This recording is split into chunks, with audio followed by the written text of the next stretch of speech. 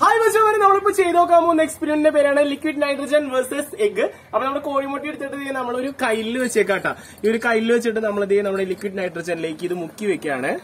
കുറച്ചു നേരം അവിടെ ഇരിക്കട്ടെ മച്ചാമാരെ എന്താവും നോക്കാം. അങ്ങനെ നമ്മുടെ മുട്ട തണുപ്പിക്കാൻ വെച്ചിട്ട് കുറച്ച് നേരം അപ്പൊ നമ്മുടെ കോഴിമുട്ട നമ്മൾ പുറത്തേക്ക് എടുക്കാണ്. ഓൾറെഡി ഇത് പുഴുങ്ങിയ അവസ്ഥയിലേക്ക് ആയിട്ടുണ്ട് കേട്ടോ അപ്പൊ നമ്മുടെ കോഴിമുട്ടയെ നമ്മളിത് ഇനി പുറത്തേക്ക് വെച്ചിട്ട് തല്ലി പൊട്ടിക്കാൻ പോവാണ്. അപ്പൊ ദേ റെഡി മച്ചാമാരെ നോക്കിക്കോ.